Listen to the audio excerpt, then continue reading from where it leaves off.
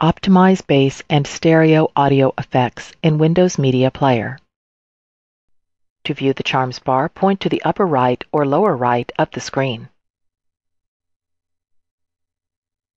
On the Charms bar, click Search. Under Windows Accessories, click Windows Media Player. Select the appropriate song to be played. Select the play icon. Select the Switch to Now Playing icon. Right-click the player. From the shortcut menu, click Enhancements.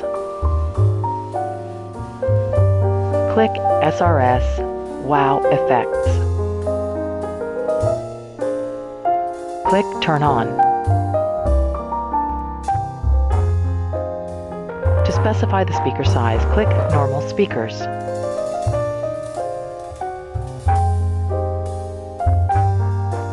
Continue clicking to advance through the available options.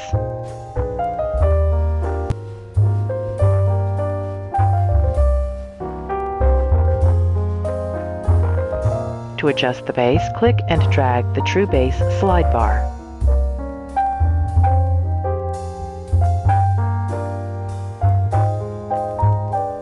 To adjust the stereo effect, click and drag the Wow Effect slide bar.